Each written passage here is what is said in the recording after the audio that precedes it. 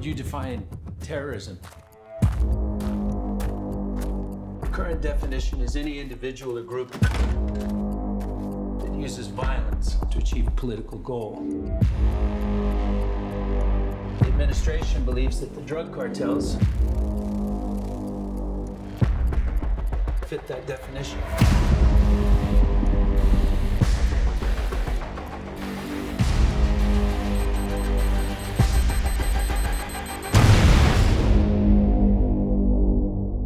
To see this thing through? I'm gonna have to get dirty.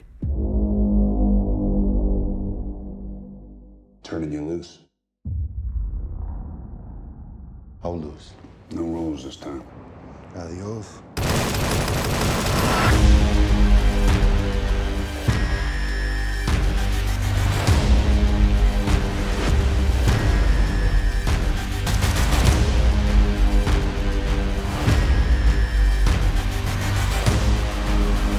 You're gonna help us start a war.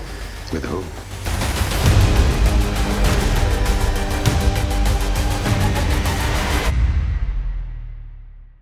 Everyone.